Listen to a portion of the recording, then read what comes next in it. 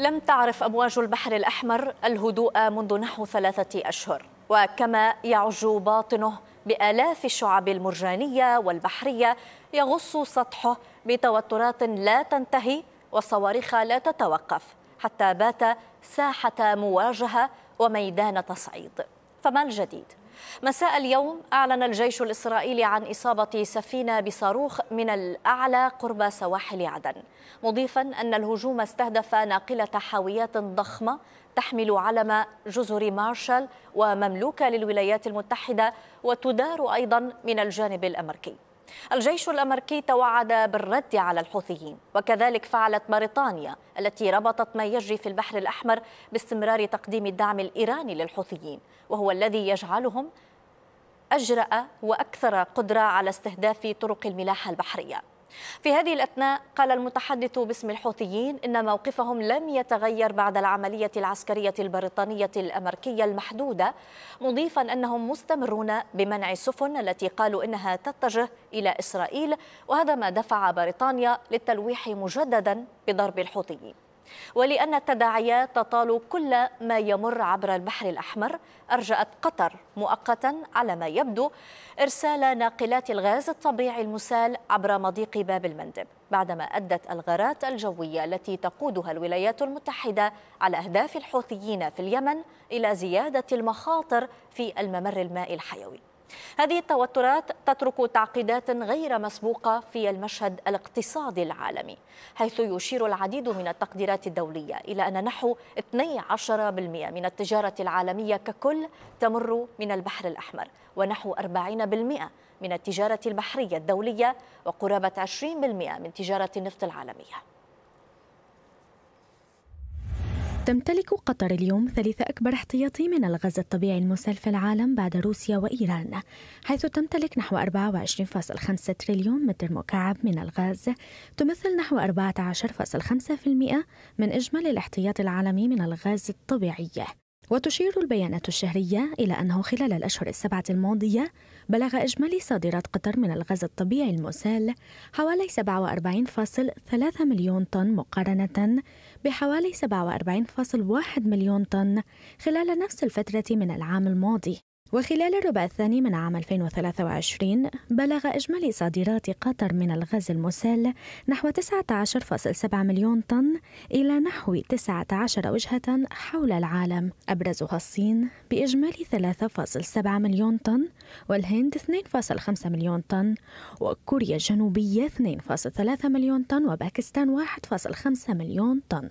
ووفقا لإحصاءات 2022 ترسل قطر أكثر من 70% من صادراتها من الغاز المسال إلى آسيا و25% إلى أوروبا. بين ضفتي البحر الأحمر الممتد على طول 1900 كيلومتر تقريبا تتمركز أهم الموانئ الاستراتيجية حول العالم والتي تسهم في ربط خطوط الملاحة بين القارات الثلاث آسيا وأفريقيا وأوروبا. أهم هذه الموانئ في هذا التقرير. نتابع. عدة موانئ على سواحل البحر الأحمر. واقدمها تاريخيا هو ميناء جده الإسلامي الذي يعود تاريخ إنشائه إلى قرون عديدة ومثل نقطة عبور للقوافل التجارية والبحرية من مختلف البقاع يحوي هذا الميناء على أرصفة بأعماق كبيرة تستقبل أكبر سفن الحاويات بطول 400 متر وبإمكانه استيعاب أكثر من 4000 سفينة متعددة الحمولات سنوياً. يبرز أيضاً ميناء السويس المصري ضمن أهم الموانئ في البحر الأحمر فهو يمثل البوابة الشرقية لمصر ويعد نقطة عبور لخطوط الملاحة الدولية الرابطة بين دول آسيا وأجزاء من إفريقيا وصولا إلى أوروبا. أما طاقته الاستيعابية فتصل وفق أحدث التقديرات إلى نحو سبعة ملايين طن سنوياً. من بين أشهر وأهم الموانئ كذلك ميناء بورت سودان الواقع شمال شرق السودان على امتداد ما يقرب من ستة كيلومترات حيث يعد بوابة البلاد الأولى على سواحل البحر الأحمر كما يمثل شريان التجارة المحلية والدولية ويبلغ عرضه قرابة كيلومترين ونصف. تحتضن جيبوتي كذلك أحد أهم الموانئ المطلة على البحر الأحمر ويعد شريانا رئيسيا كذلك لإثيوبيا التي لا تمتلك منفذا بحريا. أما قدرته الاستيعابية على مناولة البضائع فتصل إلى أكثر من سبعة ملايين طن سنوياً. من أبرز الموانئ المطلة على البحر الأحمر ميناء الحديدة اليمني الذي يرتبط بقناة ملاحية بطول 11 ميلا بحريا وبإمكانه استقبال السفن بحمولة 31 ألف طن كحد أقصى. أما ميناء خليج العقبة الأردني فهو النافذة البحرية الوحيدة للمملكة على العالم يقع في أقصى جنوب المملكة وتستورد البلاد من خلاله معظم حاجاتها من النفط والغاز إضافة إلى خطوط التجارة الأخرى. كما أن ميناء إيلات جنوب إسرائيل يعد منفذا بحريا استراتيجيا على البحر الأحمر وقد افتتح في عام 1955 ويشهد حركة تجارة نشطة سنويا.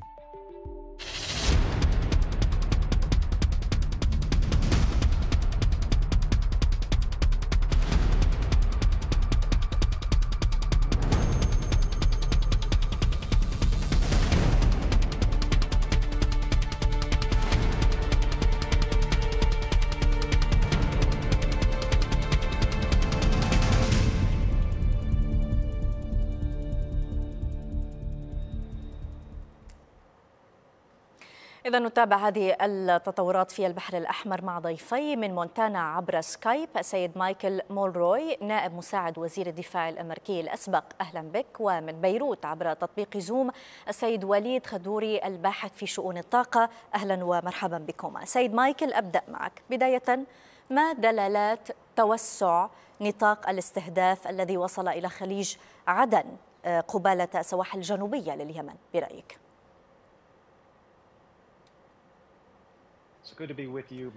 يسعدني أن أكون معكم. تحية لك للضيف وللمشاهدين. أظن أن التطورات الآن بالغة الأهمية بالنسبة للولايات المتحدة الأمريكية.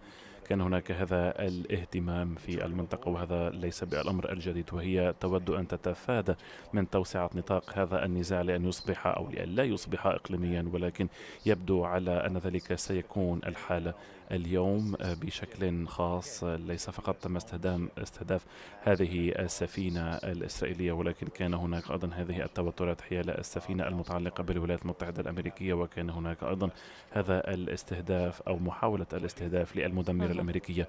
إذا اليوم بالنظر إلى كل هذه الاحتماليات وهذه التوترات في المنطقة مع بعض الضربات الجوية من أجل آه، تقييد هذه الإمكانات للحوثيين في المنطقة من نعم. ناحية إطلاق الصواريخ أيضا والاستمرار في هذه الاستخدامات حتى للطائرات المسيرة ومن دون طيار اليوم. هناك كل هذه الجهود حتى من ناحية الاستخبارات للقيام بهذه الضربة.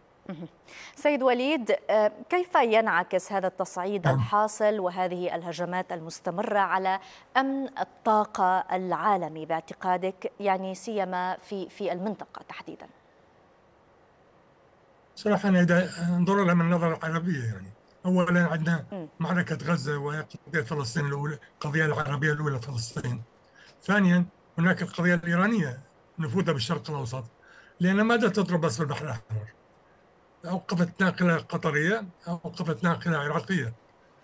لا العراق ولا قطر يعني لهم علاقة بالموضوع بالعكس هم يساعدون يعني بالمعركة. ليش؟ توسيع المعركة الآن. وإيران ما تريد تدخل مع معركة مع أمريكا مفهوم. لكن دبل رمي العرب على الموضوع هذا كله المسؤولية وهم يتهربوا منها. يعني قضية صعبة جدا تفهمها الآن. فإما يكون معركة واحدة هي معركة غزة أو معركة تمدد إيراني. أنا هيك شايفها. نعم. طيب آه سيد وليد إذا كما ذكرت قرار قطر بوقف شحنات الغاز عبر البحر الأحمر آه التوجه إلى رأس الرجاء الصالح. آه ما تداعيات هذا القرار باعتقادك على أسواق الطاقة وعلى آه تحديدا الأسواق الأوروبية؟ طبعا تأثر. يعني توقيف الناقلات يعني مو بس قطرية قطر الشركات القطرية للعراق عندك عندك الشركات العالمية كلها مع النقل توقف عن البحر الأحمر آه، ضرب الناقلات اللي الاسرائيليه ولا العراق وإسرائيل افتهمناها لكن ضرب الناقلات الأخرى لماذا؟ وما إلى اين ستاخذنا هذه القضية؟ يعني الآن الشرق المتوسط مثلا ناخذ سوريا ولبنان. وحتى ناخذ مصر يعني. ف آه، تجارتهم مع الخليج مثلا تتوقف. وهي خسارة كبيرة. يعني تأخذين أهل الجنوب بلبنان هم يعتمدون على الزراعه زراعة منتجاتهم الزراعيه كانت تروح للخليج. اولا كانت تروح بالبر بالبر. هاي توقفت على مود الكبتاجون اللي كان يتهرب الآن بدها تروح بالبحر وهذا الآن يتوقف فعندك الناس ينضربون من ناحية وأيضا منتوجهم الزراعي متوقف. آه، موضوع العراق أنا مش فاهم ليش توقفت الناقله العراقيه بحر عمان آه، يعني ما هي بس معركه فلسطين صارت. صارت وقايه أكبر. وهنا نعم. الخطورة. نعم. سيد مايكل طيب ما قدرة آه، الدول الغربية وعلى رأسها الولايات المتحدة على ردع هذا التهديد لطرق الملاحة آه، الذي يصل إلى مضيق باب المندب وإلى البحر الأحمر؟ هذه الضربات وهذا التحالف آه، الذي أيضا تم تشكيله من بعد كل ذلك هذه الجماعة الحوثي تستهدف ناقلة أخرى. أو سفينة أخرى إذا باعتقادك لأي مدى هذه الدول قادرة على آه، حماية أمن الملاحة وطرق الملاحة في هذين الممرين المهمين؟ من المهم أن نفهم بأن ذلك بدأ من بعد السابع من أكتوبر وكل هذا التوتر المتضاعف. رأينا ذلك في السنوات الماضية ولكن الآن بكل صراحة بكل صراحة لا أظن أن هناك ما يردع الحوثيين بشكل كبير لأن هناك دور تلعبه إيران اليوم بدعم الحوثيين والولايات المتحدة الأمريكية. قالت بأن إيران توجه الحوثيين اليوم للقيام بهذه العمليات اليوم. هناك حاجة وهناك سعي من قبل الولايات المتحدة الأمريكية لحشد المزيد من الجهود مع الدول الغربية والدول الأخرى لمساعدة الولايات المتحدة الأمريكية أو حتى تدعو الدول الأخرى للانضمام إلى هذا التحالف المشكل مؤخرا لأنه من المهم حماية وضمان حماية حرية الملاحة للجميع. لأن أغلبية هذه الشحنات لم تكن تذهب إلى إسرائيل ولم يكن لديها أي صلة بإسرائيل اليوم وحتى نتحدث عن أكثر من خمسين من الجنسيات التي تستهدف من قبل الحوثيين اليوم. بالعودة إلى السؤال لا أظن أن الولايات المتحدة الأمركية أو التحالف ككل سيتمكن من ردع الحوثيين من أجل أن لا يقوموا بالمزيد من هذه الضربات ولكن سنحاول بكل جهدنا من أجل الدفاع أولا عن المصالح ويجب القيام بأكثر من مجرد إسقاط الطائرات المسيرة ولكن يجب علينا الانتقال إلى الجبهات الأخرى. أيضا من هذه الدفاعات للدفاع مثلا عن القوات أو التأمين الإضافي لهذه الشحنات ولكن أيضا يجب الانتباه إلى بعض الإمكانات من ناحية التهديد وأيضا من ناحية التعدين في المنطقة لذلك آه، هذا ما يقلق الولايات المتحدة الأمريكية ولدى إيران ولدى الحوثيين بعض الإمكانات للتصنيع أيضا وهذا قد يؤثر على التجارة الدولية. نأمل ألا يتم ذلك ونأمل أيضا أن تحشد ما يكفي من الجهود من أجل تأمين حركة هذه آه، السفن في هذه المنطقة المائية الهامة جدا ولكن اليوم الولايات المتحدة الأمريكية هي قلقة حيال كل هذه الجهود وهذه التطورات. ومن أجل ذلك نحن نرى اليوم إعادة تسيير لهذه السفن بعيدا عن هذه المنطقة.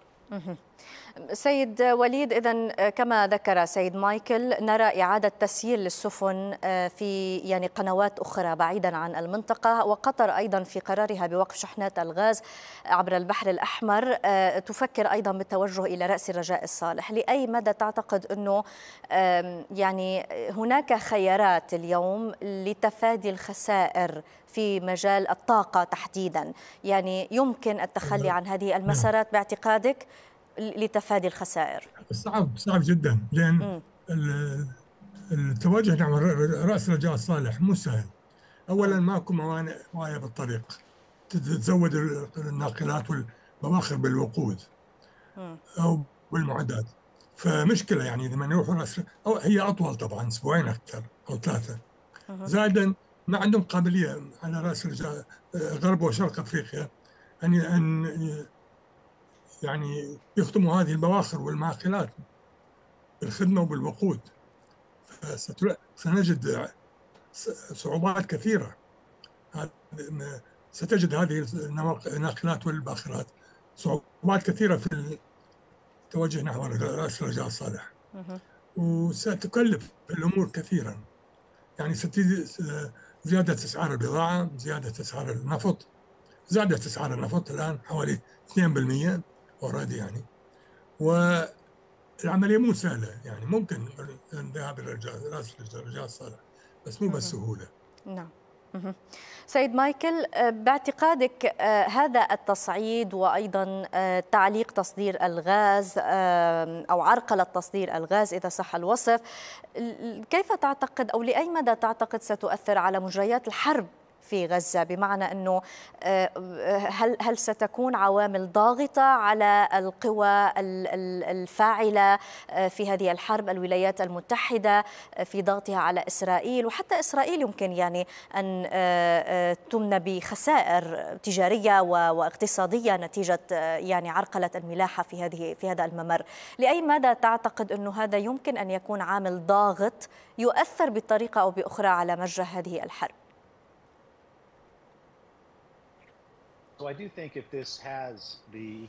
أظن أن ذلك لديه الأثر الاقتصادي وهذا ما يقلق الجميع. ولكن هذا التوتر اليوم يؤدي إلى التصاعد الإضافي في هذه المشاكل على مستوى التجارة العالمية. واليوم أظن أن السيد الضيف هو أخبر مني في القضايا الاقتصادية. ولكن ربما نتحدث من ناحية الضغط على الولايات المتحدة الأمريكية. الولايات المتحدة أصلا تحت الضغط للقيام بالأمور الكثيرة في غزة. أولا تأمين هذا الانتقال اليوم في الوضع الراهن والضغط بهذا المجال من أجل تأمين المزيد من الحماية للمدنيين. هذا من جهة ومن جهة أخرى تأمين المزيد من المساعدات الإنسانية وأيضا الضغط بهذا التوجه للمضي قدما لتغيير الوضع الراهن كما قلت. ولكن اليوم بالعودة إلى السؤال وفيما يتعلق بهذا الأثر الاقتصادي العالمي ذلك قد يضع المزيد من الضغط على الولايات المتحدة الأمريكية وعلى إسرائيل الآن هل سيغيرون مجريات الأمور؟ لا أعرف. وربما هناك هذه الاحتمالية من ناحية النفوذ الأمريكي بالنسبة للشركة الشركاء سيد وليد إذا توقعت أن يكون آه، لهذه التطورات وهذا التصعيد الحاصل في البحر الأحمر آه، تداعيات آه، يعني سلبية جدا على الطاقة أو أسواق الطاقة والطاقة العالمية والتجارة وإلى آخره وأمن الطاقة. لكن هل هل هي تداعيات قصيرة المدى أم هي بعيدة المدى؟ بعض المصادر مثلا بلومبرغ تقول أنه التوقف في في إمدادات الغاز مثلا لن يؤثر على الأسواق على المدى القريب إنما على المدى المتوسط أو المدى البعيد. هل يمكن قياس هذه التأثيرات؟ أولا تطول على مدى الحرب يعني مدى فترة الحرب. ثانيا الغاز القطري معظمه يتجه شرقا إلى آسيا وكذلك النفط الخليجي. يعني لكن هناك امدادات نفطية وغازية تروح أيضا للغرب إلى السوق الأوروبية. وقسم حتى السوق الأمريكية عن طريق كانت عن طريق قناة السويس آه، فلابد أن بدأت الأسعار تزداد.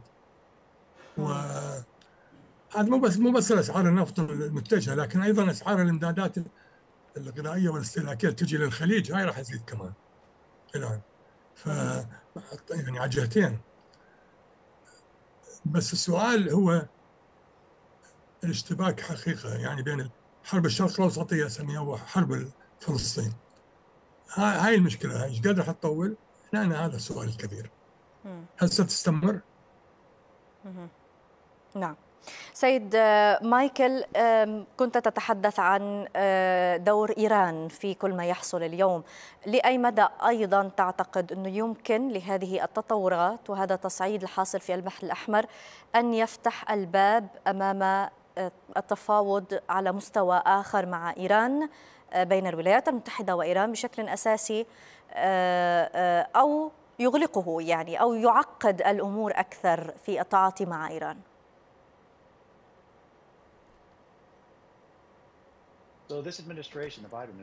إدارة بايدن الآن حاولت أن تصل إلى نقطة فيها آه، كانت لتتمكن من إعادة الدخول في خطة العمل الشاملة المشتركة أو الاتفاقية النووية مع إيران. ولكن للأسف لم نرى أي تقدم في هذه النقطة.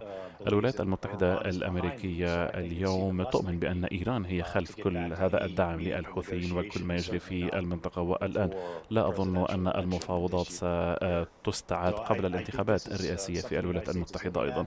اليوم الولايات المتحدة تنظر إلى كل هذه الأمور وأيضا هذه الأهداف الإضافية في المنطقة للعمليات التي قد تطلق بعدما وكل ما يجري في إيران في العراق من استهداف إلى آخره الولايات المتحدة الأمريكية تأخذ ذلك على محمل الجد من ناحية العوامل الوخيمة المؤثرة وأيضا من ناحية المسؤولية في المنطقة هذه المسيرات المستخدمة اليوم وأيضا هذه الصواريخ المضادة للسفن هي تترك هذه الآثار الوخيمة في الممتلكات وهذا سيشكل مشكلة أكبر من المشكلة القائمة أصلا الولايات المتحدة تعي بكل هذه العوامل اليوم وهي تحاول أن تبقي على بعض القنوات للمفاوضات ولكن اليوم هي بشكل محدود.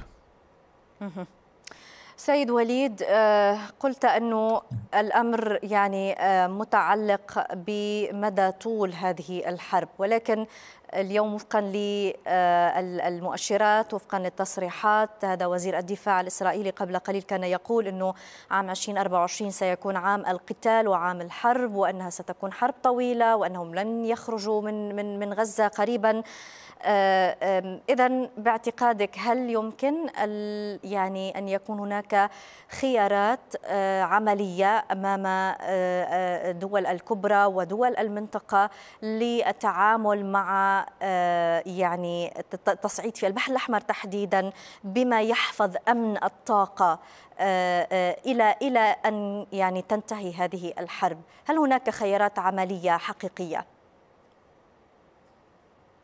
يعني إذا راح تصير هي بس حرب غزة ما راح تصير لها آثار عالمية. لكن إذا حرب في المنطقة كلها وعلى بعض الدول العربية هاي تختلف. نحن يعني من خيارين الآن.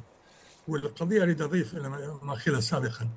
يعني الولايات المتحدة وإيران آه، ما يريدون مواجهة مباشرة بيناتهم. هاي مفهومه صارت القضية وما بها نقاش. لكن السؤال إلى أين سنذهب؟ وبالذات يعني الدول المحيطة بفلسطين المحتل بإسرائيل. الدول صارت ضعيفة الآن. سوريا لبنان العراق يعني. نعم. الإنسان كيف تتحمل حرب طويلة شكرا جزيلا لك سيد وليد خدوري الباحث في شؤون الطاقة والشكر موصول لسيد مايكل مولروي نائب مساعد وزير الدفاع الأمريكي الأسبق. شكرا جزيلا لكما.